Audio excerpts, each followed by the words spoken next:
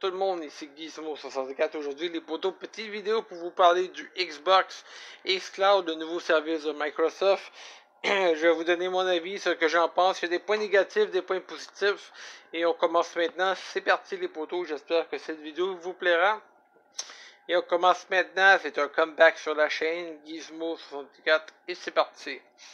Premièrement, il vous faut deux choses. Pour y jouer, il vous faut de bon internet, au moins même si euh, même si j'ai pu jouer un peu à Benjo Kazooie sur une internet quand même moyenne, le réseau Wi-Fi assez moyen.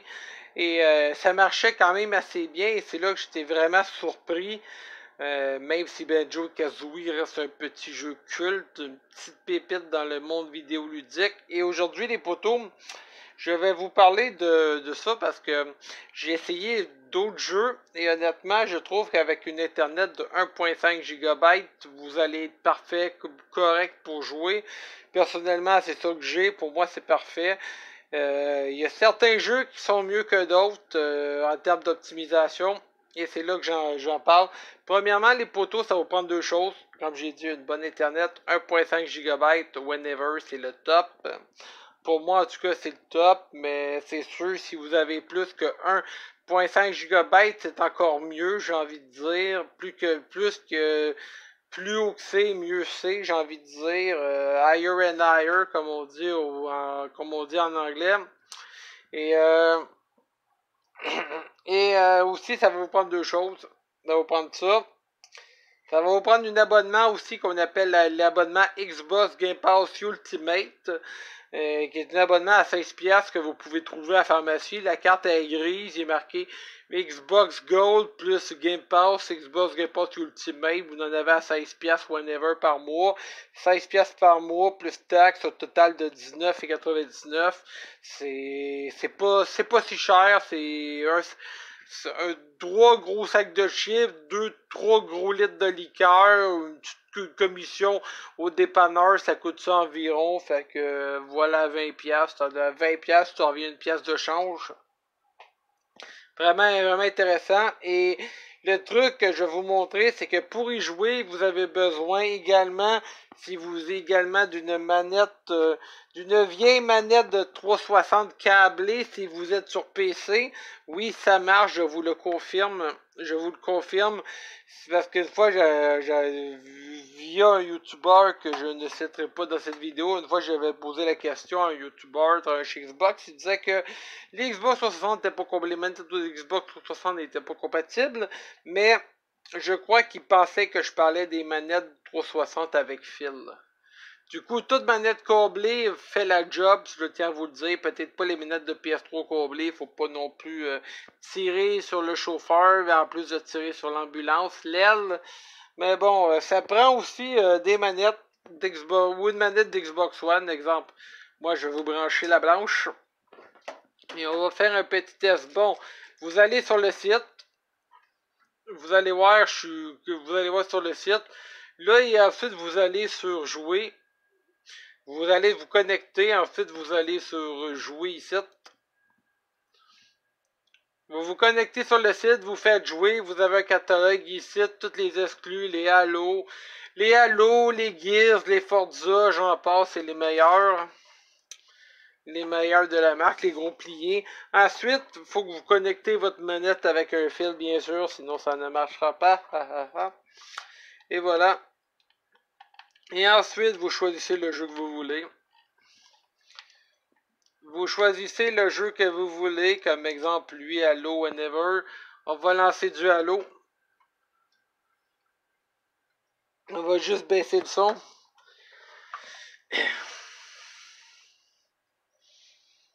Oui, parce que, oui, à cause des droits d'auteur, j'ai pas envie d'avoir non plus une petite musique qui arrive et qui me dit respectez pas les droits d'auteur. Les musiques, pour moi, ça me tape un peu sur le système.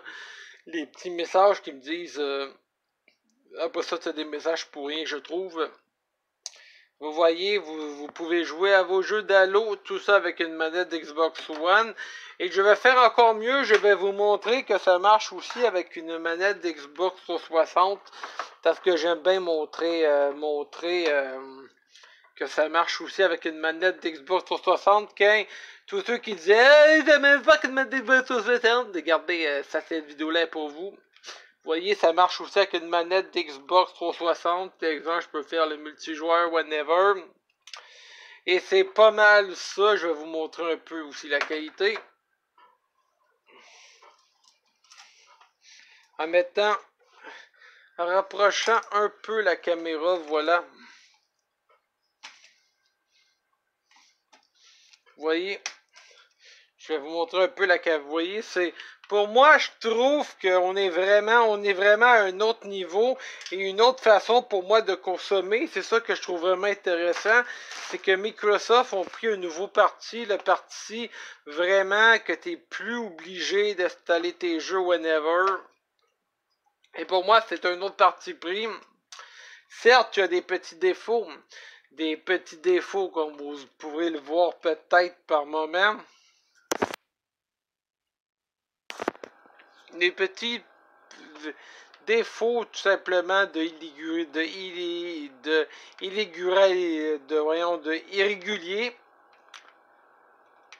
Comme exemple, c'est sûr que c'est sûr des, au premier temps, j'ai eu pas mal de la misère. Là, je suis un noob dans, l'eau côté multijoueur, c'est normal, ne vous en faites pas pour ça. Honnêtement, c'est un jeu, c'est un, les, les, serveurs, faut dire ce qu'il y en est, les serveurs Microsoft, c'est les meilleurs pour moi de l'industrie. Honnêtement, j'ai jamais vu une bêta et c'est la première fois en, 20 ans de gaming que je vois des serveurs quand même aussi solides pour une bêta. Le seul truc, il y a des jeux où c'est quand même un peu dégueulasse par moment, comme Forza Horizon 4, que pour moi c'est un jeu à faire absolument sur console que sur Xcloud pour l'instant, même si la qualité Xcloud n'est pas trop non plus dégueulasse, c'est quand même faisable. Euh, Destiny 2, j'ai rien à dire. Destiny 2, ça tourne sur. S'il y a bien un jeu à faire à Xcloud, c'est bien Destiny 2. Destiny 2, c'est écœurant. Destiny 2, ça roule, mais c'est un truc de fou. Ça roule à fond les ballons. Ouais, vraiment, c'est ça, ça roule quasiment. Et c'est ça, je me suis dit, quand j'ai vu ça, je me suis dit, crime, ça roule pas à 60 FPS, ça roule quasiment à 120 FPS, j'ai envie de dire, mais pour rouler, ça roule vite en maudit. Même les chargements, ça s'enclenche vite, vite, que c'est de même que j'aime les jeux. Et honnêtement, euh, même les Gears, les Gears, j'ai aucun problème. Le seul truc, c'est que, comme je vous dis, j'ai essayé sur un réseau internet quand même moyen des jeux comme Banjo et Kazooie. Banjo Kazooie que j'ai trouvé euh, bien adapté au euh, jouer au téléphone tactile, tactilement. Le seul hic, cependant, oui, parce qu'il y a un hic, le jeu prend quand même un peu de, de il est un peu gourmand j'ai envie de dire. Mais à part de ça, pour moi, c'est une très bonne surprise. Euh, même sur les réseau moyen, je peux en profiter quand même un peu, même si des fois il y a des petits ralentissements par moment. Mais personnellement, pour moi, je trouve que c'est une nouvelle façon de consommer des jeux vidéo. Et la fait l'avantage pour moi du S-Cloud, quand ton disque dur de 4 Teraoctets tu veux jouer à Halo, mais Halo il pèse 151 euh, goûts, puis tu veux pas tout prendre ton disque pour ça, tu peux l'installer via le Xcloud. Pour moi, je trouve jouer via le Xcloud parce que le Xcloud, tu n'installes pas les jeux, ça j'ai envie de dire. Et honnêtement, tu as un catalogue quand même assez bien varié, puis ça évite à tous ceux qui ont pas de Xbox One de d'éviter de s'en acheter une. Euh, oui, parce que vous pouvez goûter aussi aux exclus Microsoft sans non plus penser à la caisse si vous êtes préféré PlayStation whenever. Ça permet de d'essayer un jeu avant de le juger allègrement. Et pour moi, je trouve que c'est vraiment intéressant pour moi, l'esclave, vraiment, ça, ça monte encore un peu la barre au-dessus pour montrer, puis ça offre une nouvelle façon de consommer du jeu vidéo. Personnellement, je, honnêtement, je, trouve que c'est vraiment une bonne, une bonne initiative du niveau du côté de Microsoft. Pour moi, c'est évidemment, il faut, il faut une bonne Internet aussi, mais honnêtement, même avec une Internet moyenne, il y a peut-être de quoi, de quoi faire aussi, mais ça, je ne peux pas le dire, évidemment. Évidemment, ce n'est pas gratuit, il vous faut un abonnement qui coûte 19,96 et plus taxes 19,99. Euh, c'est c'est pas diable plus c'est pas diable plus cher comme on dit au Québec par chez nous. Et en tout cas euh, ça vaut la peine personnellement ça vaut la peine Cependant, ça vaut plus la peine si vous avez un PC gaming ou une Xbox euh, euh, One tout simplement parce que si vous payez l'abonnement seulement pour le xCloud, le catalogue ne vaut pas la peine pour l'instant. Alors que si vous avez un gros PC gaming plus le xCloud, là il y a de quoi faire. Ben oui, parce que 19$ quand même, il y a de quoi faire parce que le catalogue du xCloud cloud ne, suffit pas, ne, justifie pas à lui seul l'abonnement.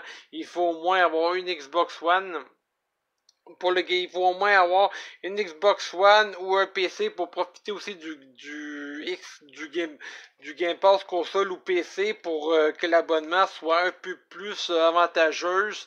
Mais euh, je sais qu'au fil du temps, il va avoir des ils vont rajouter des jeux, ça va popper, ça commence déjà. Et sur ça, les poteaux, euh, écoutez, moi, rien d'autre à dire. Pour moi, c'est une. J'avais envie de vous donner mon avis, puis de la filmer de la meilleure façon possible. J'espère que c'est le cas dans cette vidéo. Et si c'est le cas, je vous invite à. Si vous avez un abonnement à Game Pass, je vous invite à essayer le Cloud. Il est gratuit pour vous. Si vous avez le Game Pass Ultimate, je précise, il faut le, je précise, il faut le Game Pass Ultimate pour en profiter. Et sur ça, les poteaux, n'hésitez pas à me donner votre avis dans les commentaires si vous l'avez essayé, oui ou non. Euh, euh, Faites marcher YouTube et euh, donnez-moi votre avis. Qu'est-ce que vous pensez du Cloud en commentaire. Si oui, vous aimez. Sinon, vous aimez pas. Whenever pouce bleu, pouce rouge, euh, whenever, tout ce que vous voulez, liker, dislike si vous aimez, disliker si vous aimez pas. Et sur ça, les potos, on se retrouve plus tard pour une autre, prochainement pour une autre vidéo. C'était Gizmo64 pour mon avis sur le Xcloud streaming, le, X, le Xbox Xcloud, la bêta ouverte. Et pour une bêta, je vous le dis, ça l'envoie du lourd. Allez, à la prochaine les potos. Ciao